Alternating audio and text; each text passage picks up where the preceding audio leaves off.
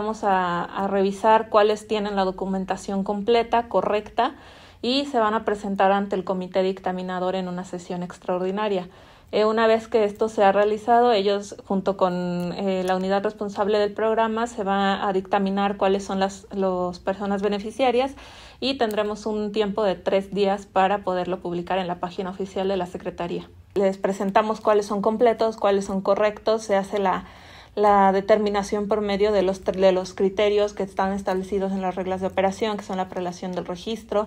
eh, la, distribución entre los municipios, entre otros, y ya posteriormente eh, se va a dictaminar por parte de todos los integrantes cuáles son los beneficiarios.